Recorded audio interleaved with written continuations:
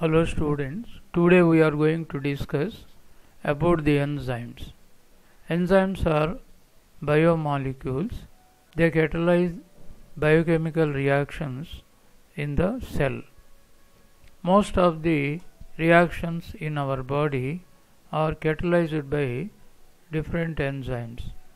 All enzymes are proteins, but all proteins are not enzymes. In part 1 we are going to discuss about the classification of enzymes. It is given as a essay question in MBBS examination. First introduction enzymes are biocatalysts present in every living cell.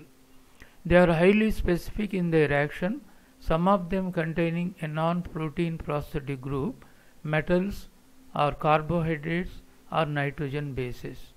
All enzymes are proteins, but all proteins are not enzymes. Some molecules of RNA act as enzymes, named as ribozymes. They are non-protein enzymes, catalyzing cleavage and synthesis of phosphodiester bonds in RNA. Enzymes accelerate the reactions and they do not participate in the reactions. On, hydrol- on dialysis, the intracellular enzymes separated as a protein, that is apoenzyme, dialyzable part, coenzyme, both the parts together called as holoenzyme. The term prosthetic group is used for non-dialyzable part of complex enzyme which functions as cofactor. Digestive enzymes are simple proteins, they do not have coenzymes classification. Before classification we are going to discuss about the enzyme commission number. Enzyme commission of the international union of biochemistry adopted a method for classification of the enzymes. According to the system six classes of enzymes catalyzing six major types of reactions.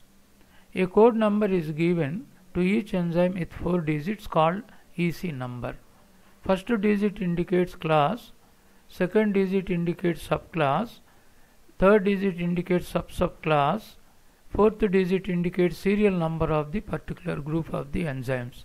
For example, 11127 indicates lactate dehydrogenase, 1 indicates oxidoreductase group that is main group, second one indicates subgroup the, the enzyme acts on particular group CHOH. Third one indicates cofactor that is NAD plus. Uh, fourth number is serial number of the particular enzyme in the group. The name of the enzyme is formed by adding suffix ase to the substrate. For example, amylase, maltase, sucrase, invertase, etc. Enzymes classified into six major groups. 1 oxidoreductase EC number 1 involved in the transfer of electrons during the biological oxidation and reduction. For example, dehydrogenases, they remove hydrogen from the substrate in the presence of H acceptor, that is hydrogen acceptor.